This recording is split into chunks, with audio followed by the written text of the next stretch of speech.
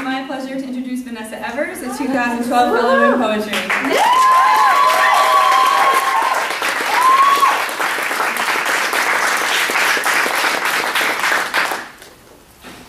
Hi. Okay. Um, yeah, thank you. Um, it's been great.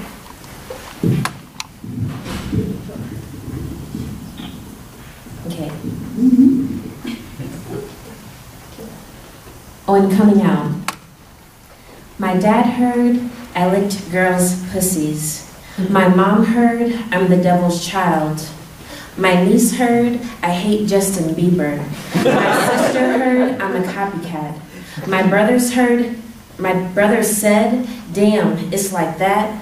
My God said, as long as you're happy. You don't have to applaud until after. Nonfiction. You ask me to kneel down between legs and suck what was never given to you, but you don't want it really. Just want me spreading my tongue's liquid over the strapped firmness. I call you daddy even though neither of us like ours, but daddy, you feel so good in my mouth. I stay down there until you release the back of my head, wanting me to believe something slid down my throat. It's okay though, I never liked it anyways. What best friends were for Lacey, age nine and a half.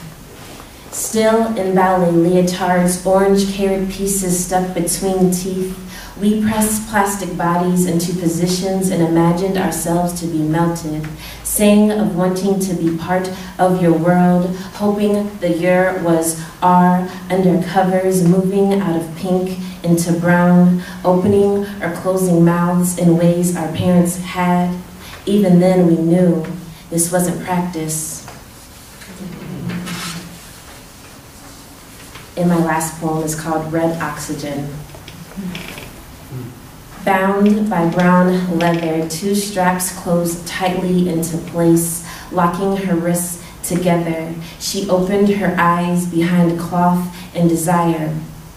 She told me to hold my finger still, just like that, don't move it, right there. While rising up, down, my first time inside her or anyone, silent breaths caught in her throat, right there, begging me to bite. Her flesh was open, whispers feathered across breasts. I breathed all of her in. I swallowed her whole without water. I would do it more than three times a day if she asked.